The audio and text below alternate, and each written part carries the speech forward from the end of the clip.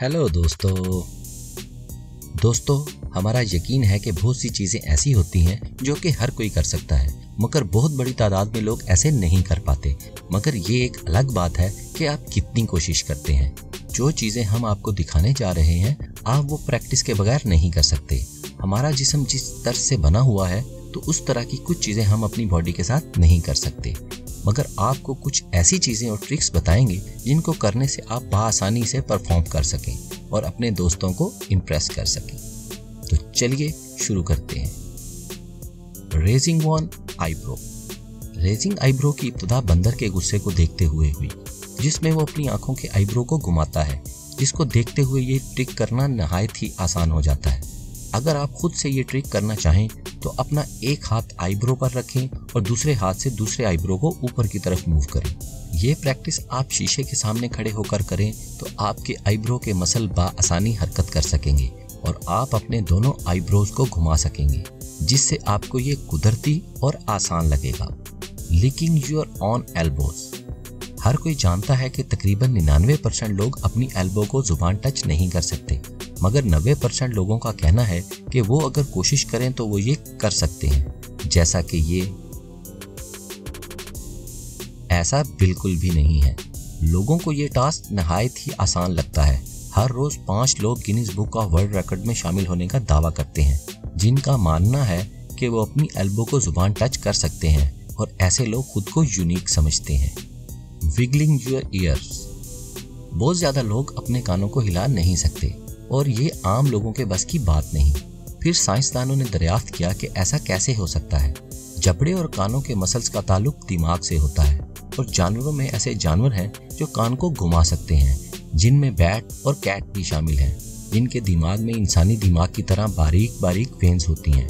हम आपको कुछ ऐसे ट्रिक्स बताएँगे कि आप भी इन लोगों की तरह अपने कान हिला जुला सकेंगे। पहले आप अपने मसल्स यानी कि गाल आईब्रोज को मूव करें। और फिर अपनी मुस्कुराहट को बढ़ाएँ। गौर करें कि आपके कान हरकत में हैं। फिर अपने दांतों को जबड़ों को आपस में रगड़ें। आपके कान हरकत करना शुरू हो गए हैं, मगर ख्याल रखें कि आपकी मुस्कुराहट और दांत कहीं खराब ना हो जाए। टचिंग योर नोज़ और चिन अपनी ज़ुबान को नाक से लगाना या अपनी ठोड़ी पर टच करना आम सी बात लगती है, मगर ऐसा बिल्कुल भी नहीं है। सिर्फ़ 10 परसेंट लोग ही पूरी दुनिया में ऐसा कर सकते हैं। क्योंकि जेनेटिकली उनकी ज़ुबान लंबी होती है। पाँच परसेंट लोग पूरी दुनिया में अपनी ज्वाइंट और बॉडी को मोल्ड कर सकते हैं। आप भी अगर लकी हैं तो कर सकते हैं। कोशिश करें अपनी ज़ुबान को नाक की टिप पर लगाने की और अपना ऊपर वाला लिप्स नीचे की तरफ़ ज़ोर से गिरा दें। लंबी ज़ुबान आराम से नाक की टिप को टच कर सकती है, मगर प्रैक्टिस के बाद आप अपनी ज़ुबान को नाक और थोड़ी से बासानी टच कर पाएँगे। द पैरालाइज फिंगर ट्रिक अपनी दरमियान वाली उंगली को मोड़कर टेबल पर रखें और फिर आराम आराम से अपना अंगूठा ऊपर की तरफ़ उठाएँ फिर अपनी शहादत की उंगली को उठाएँ, फिर अपनी सबसे छोटी उंगली को उठाएँ। मगर छोटी और बड़ी उंगली के दरमियान वाली उंगली आप नहीं उठा पाएँगे, क्योंकि ये उंगली बड़ी उंगली की मोहताज है। जब बड़ी उंगली हरकत नहीं कर सकती तो इसका असर भी इस उंगली पर पड़ता है। Tongue rolling. अपनी ज़ुबान को शवारमे की तरह रोल कर लेना मामूली बात लगती है, मगर ऐसा मुमकिन नहीं है, क्योंकि तहकीक से ये बात साबित हो चुकी है कि ये जेनेटिक है और जेनेटिक असर रखने वाले लोग ही अपनी ज़ुबान को रोल कर सकते हैं। जैसा कि दो भाइयों में से एक भाई ही ऐसा कर सकता है, मगर दूसरा कोशिश के बावजूद भी ऐसा नहीं कर पाता। टिकलिंग योर सेल्फ हम सब लोग जानते हैं कि गुदगुदी करने के लिए हम अपनी जिस्मानी जगह अपने दोस्तों से छुपा नहीं सकते, जहाँ से गुदगुदी होती है।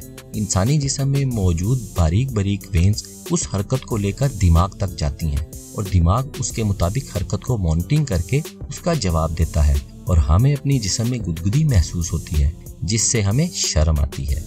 लेग ट्रिक अगर आप दो तरह के काम इकट्ठे करना चाहें तो एक ट्रिक ऐसा भी है कि कुर्सी पर बैठकर अपनी टांग को थोड़ा उठा के दाएँ जानी ब्राउन शक्ल में घुमाएँ, फिर अपना दायां हाथ उठाएँ और टांग के मुखालिफ घुमाएँ। टांग को दाएँ सर्कल में और हाथ को बाएँ सर्कल की तरफ़ घुमाएँ। दोनों की डायरेक्शन तब्दील हो जाएगी, जो कि बड़ी मजाकिया सी लगती है। हमारी वीडियो को लाइक करें, हमारे चैनल क्या जानते हो को सब्सक्राइब करें और बेल आइकन पर ज़रूर क्लिक करें, ताकि हमारी हर नई वीडियो आपको सबसे पहले मिल सके। आपकी कीमती वक्त का बहुत बहुत शुक्रिया।